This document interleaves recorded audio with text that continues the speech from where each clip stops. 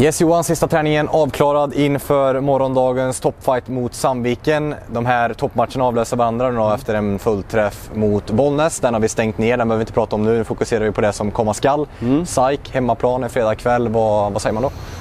Också en eh, jättestor utmaning. Eh, ett SAIK som jag tror eh, överraskat ganska många ändå på något sätt. De är rätt så tappar ju x antal tunga namn liksom och ersatte med unga lovande spelare på ett bra sätt liksom och generations skifte där. Men har presterat bra band. Gör väldigt mycket mål framförallt. Så att, eh, ja, vi har en, en fin uppgift imorgon. Mm, ett SAIK som hade lite tufft i, i början på säsongen men, men inte så konstigt som du säger med tanke på att man har ställt om lite och en, en ny tränarstab och sådär. Mm. Eh, hur bra är Sandviken och hur bra liksom, kommer de vara imorgon tror du när man möter dem så här i mitten av säsongen?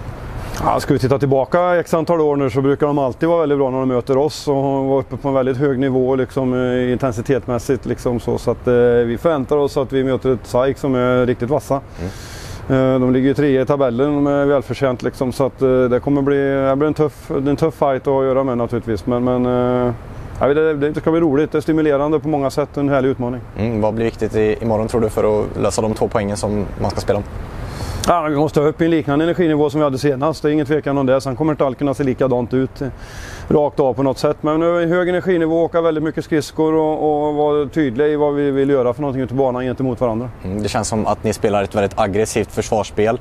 Eh, ni är högt upp på dem, ni åker fantastiskt mycket skridskor, alla spelare i defensiven. Eh, jag antar att det är någonting ni trycker på? Ja, men så är det. Det, det, det går inte att hålla på så match efter match efter match, men det går ju att, under vissa tider liksom så går det att göra så. Nu, nu känner vi att vi har det där så att vi får se lite eh, hur vi lägger upp det inför morgondagen här. Men det är klart att vi, vi gillar att åka skridskor så det är ingen hemlighet med det. det och det hoppas jag att vi vill göra imorgon också. Mm, avslutningsvis, eh, biljettrycket är bra. Eh, mm. 2700 här i, i onsdags. Det känns som att vi kommer slå den siffran imorgon. Pekar upp mot 3000.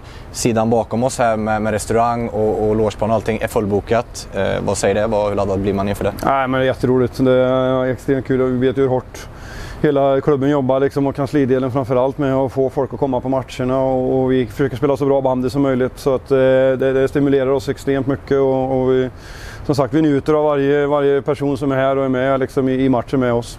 Mm, härligt, lycka till imorgon! Tack så mycket.